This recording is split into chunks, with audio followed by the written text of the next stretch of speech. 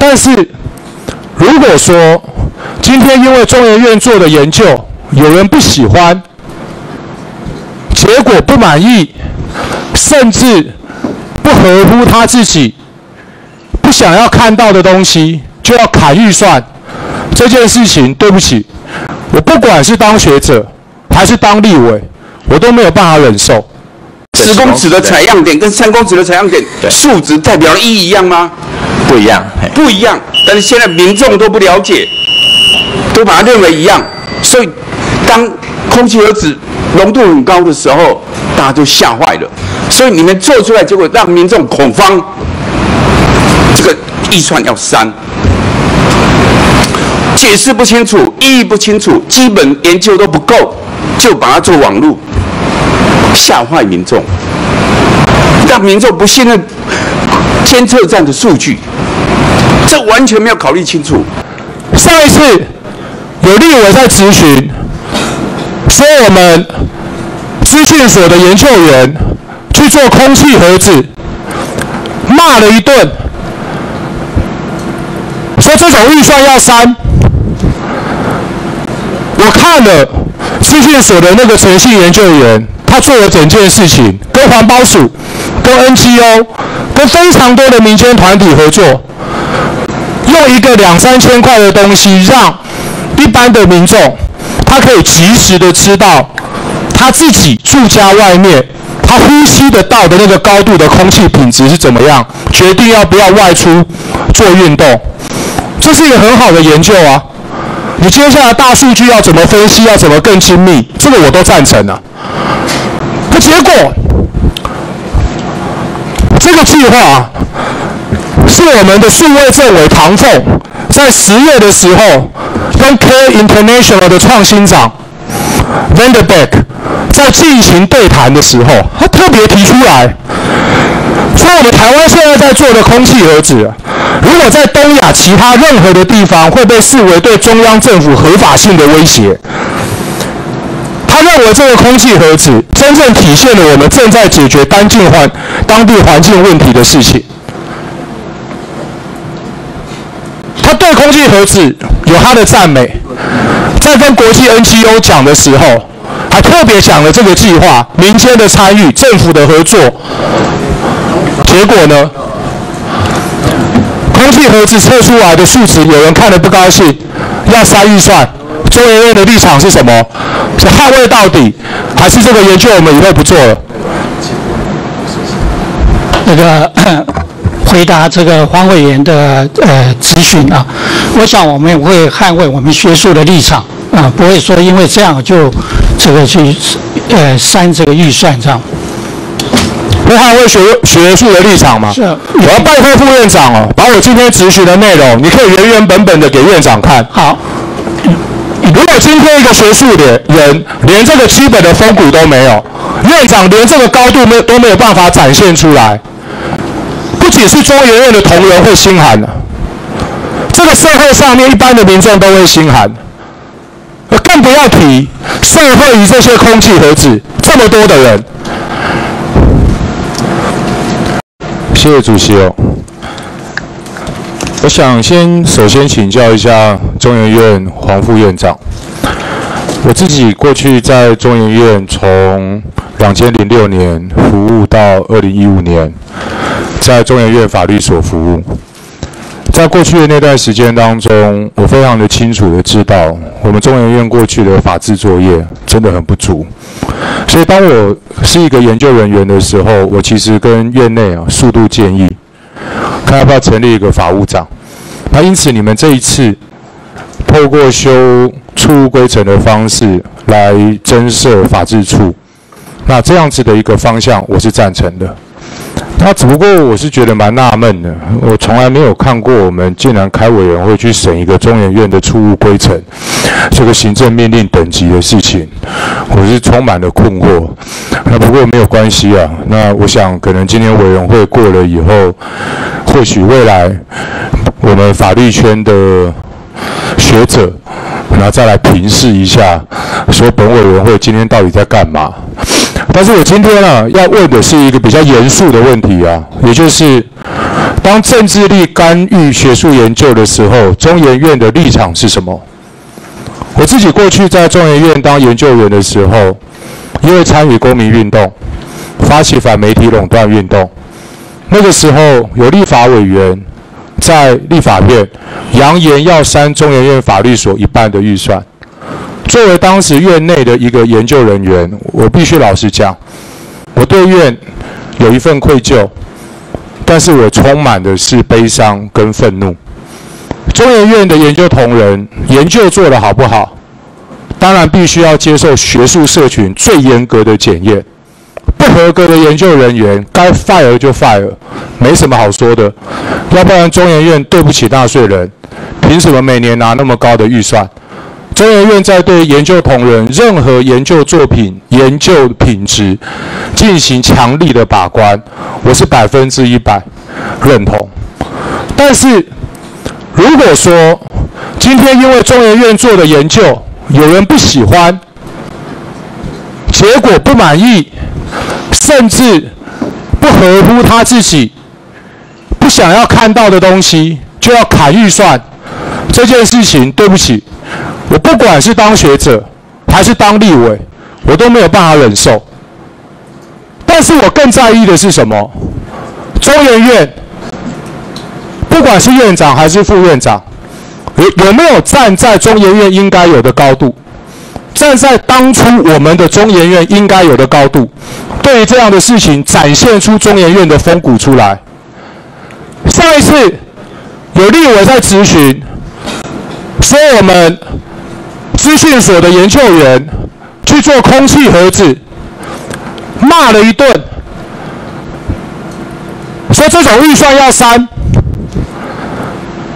我看了资讯所的那个诚信研究员，他做了整件事情，跟环保署、跟 NGO、跟非常多的民间团体合作，用一个两三千块的东西，让一般的民众，他可以及时的知道他自己住家外面，他呼吸得到的那个高度的空气品质是怎么样，决定要不要外出做运动，这是一个很好的研究啊。你接下来大数据要怎么分析？要怎么更精密？这个我都赞成了。结果，这个计划是我们的数位政委唐凤在十月的时候跟 Care International 的创新长 Vanderbeck 在进行对谈的时候，他特别提出来。说我们台湾现在在做的空气盒子，如果在东亚其他任何的地方会被视为对中央政府合法性的威胁。他认为这个空气盒子真正体现了我们正在解决当境环当地环境问题的事情。他对空气盒子有他的赞美，在跟国际 NGO 讲的时候，还特别讲了这个计划民间的参与、政府的合作。结果呢？空气盒子测出来的数值，有人看了不高兴，要塞预算。中研院的立场是什么？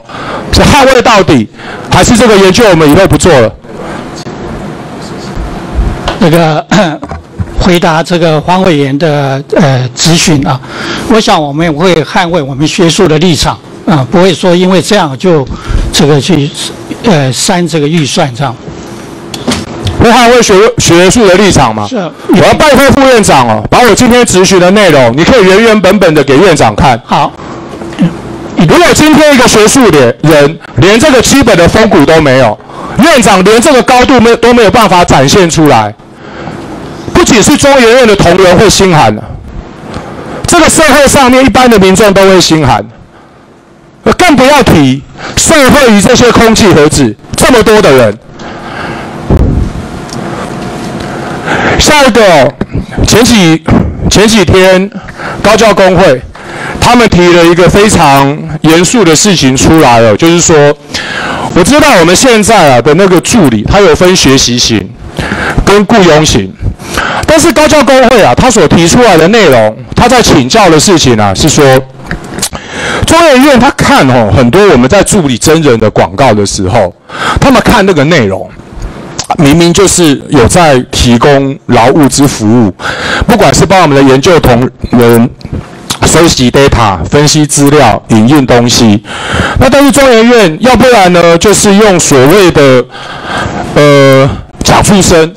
要不然就是用所谓的承揽的方式去处理，那让这些本来应该要享受劳动权益保障的兼任助理，他们都没有办法享受劳动保障。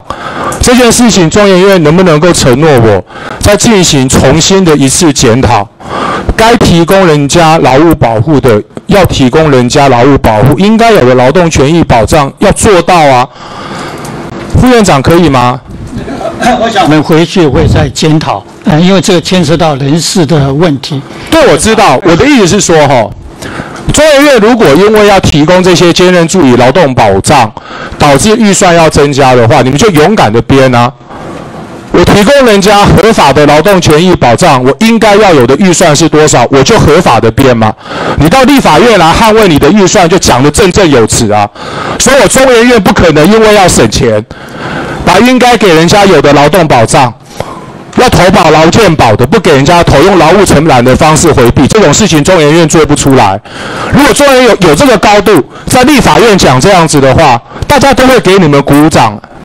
但是中医院不能够说，你一方面又不讲那样的话，另外一方面又偷偷的用讲助生、用劳务承揽的方式。我有知道各所的所长头都很痛了，因为我自己之前。当过研究同仁，所长就头很痛，就没有钱，那要怎么办？那研研究同仁又希望大家都能够有助理，但是钱就没有。那如果是牵涉到合法劳动权益保障而应该有的预算，你们该讲的话就讲嘛。副院长可以答应我吗？哎，可以哈。好，来最后一个教育部次长，我我上次哦问你哈说。大学的教授没有经过学校书面同意，跑去外面当董事、当独董的。你们之前教育部的立场表白的很清楚，违法。好，那你们后来清查过了以后，哈，有百分之五十的教师是违法兼任读懂的。上次我请教市长的时候，市长告诉我说，好，查出来有百分之五十兼任。是违法的。那下一个问题是，那你们现在处理的状况是怎么样？因为台湾社会一个很严重的问题，哈，就是说，每一次新闻的风头上，大家大讨特特吵，吵完了以后，大家遗忘，而没有人追。但这件事情我一定会追下去。教育部既然说是违法的，那这一些百分之五十兼任的违法董事，责任追究到哪里？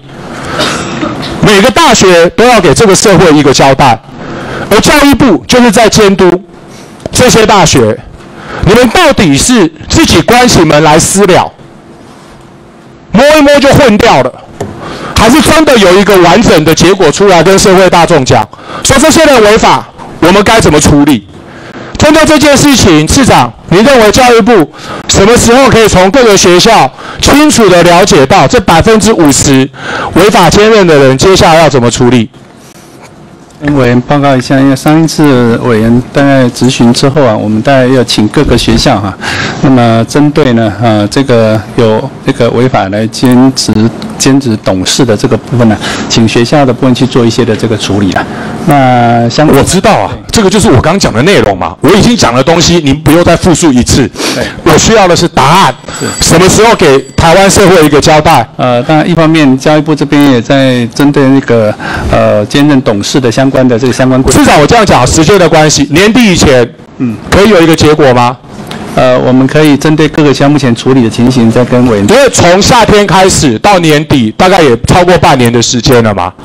我们一个国家连这种事情半年处理不完，那我们还要处理什么事啊？呃，因为那大学的老师兼任这个职务的部分，这个是由学校啊，这我了解嘛，所以我才说拜托教育部去告诉这些大学，有一点基本的样子好不好？是，不要因为是大学教授违法，自己关起门来就要私了了。不可以这样做，市长可以答应我吗？呃，我们会请呃，以后了解一下各个项目前处理一个情形。好，年底以前，我希望在教育部的督导之下，这些违法的要怎么处理，要给台湾社会一个清楚的说明。谢谢。啊，谢谢委员。好，谢谢。好，回应一下黄国昌委员刚刚提到。